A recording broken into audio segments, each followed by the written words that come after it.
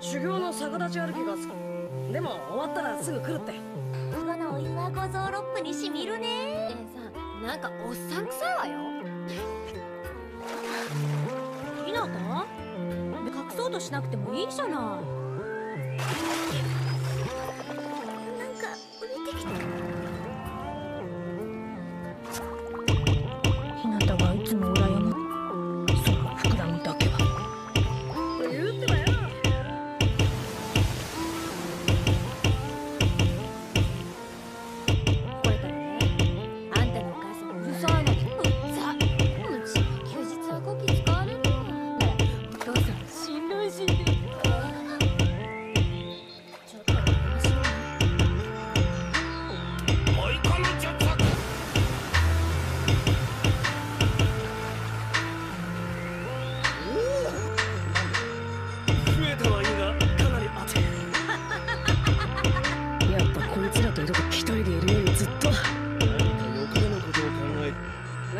何？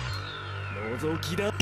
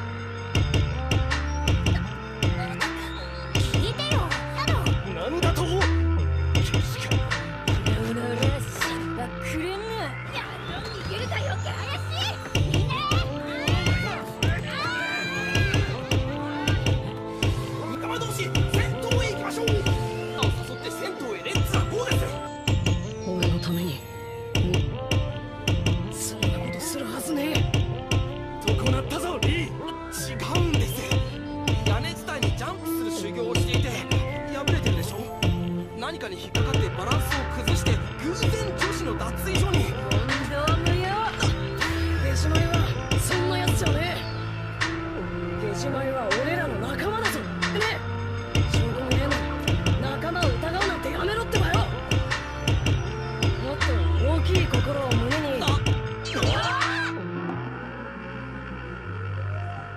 最も小さい。どう見てもあの下着は。私の